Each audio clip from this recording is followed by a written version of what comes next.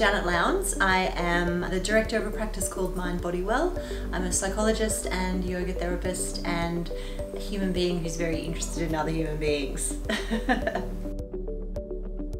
My definition of flow is about being in that kind of uh, internal space where there's a resonance between self and other and environment where we feel connected to uh, oneness it sort of varies a little from time to time, but one of the consistent things for me for finding flow is about being in nature, cuddling my puppies, and having my feet on the grass and being around trees. Things like that always help me find my flow.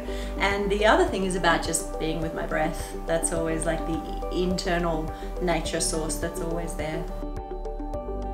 I guess that helping others sort of find their own sense of flow is, uh, well, that again tends to vary a little bit for each human being. This is such a therapist answer, isn't it? It's like everyone's different, but I think helping people find their own sense of flow is really about helping people develop ways to check in and notice where they're at and think about what they could offer themselves in any moment to contribute to a kind of small act of kindness.